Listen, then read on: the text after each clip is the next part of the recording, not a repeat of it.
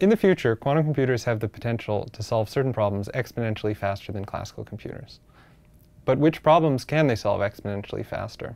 And which problems would we do just as well to solve using a classical computer? So these are the questions that we're really interested in as quantum algorithms researchers. Now to set the stage, it makes sense to talk a little bit about the relationship between algorithms and computer hardware more generally.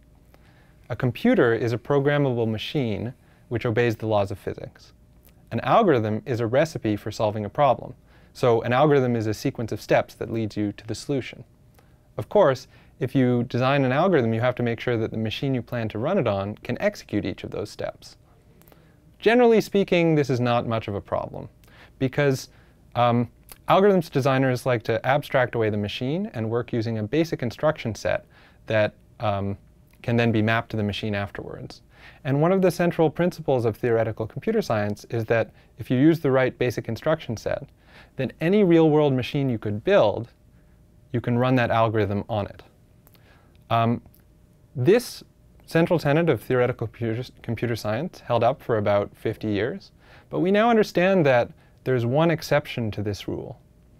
And the exception is quantum computers.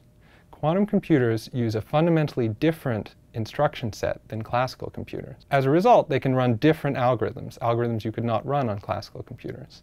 Those algorithms make use of quantum effects like non-locality, entanglement, superposition, and interference. And so when you're designing a quantum algorithm, your aim is to exploit those quantum effects to make you get the solution faster. Generally speaking, an algorithm might start by taking your classical input to the problem, processing that into a quantum state, which is a superposition of an exponential number of classical states.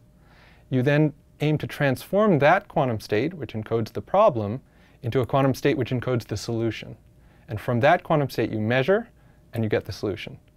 Now, of course, to make this work, it's a bit of an art, and you have to design an algorithm which follows these, these steps for a given problem. And some of the areas where we have such algorithms, where we have quantum speedups, include the simulation of quantum systems, number theoretic problems like integer factorization, and certain types of search problems. Now, one of the caveats is that most of these algorithms are designed for future quantum computers which have many, many qubits. And right now, we're at a moment where people are building small and modest-sized quantum computers. And so it's an exciting research area to understand what can we do with those devices before we have basically an unlimited number of qubits.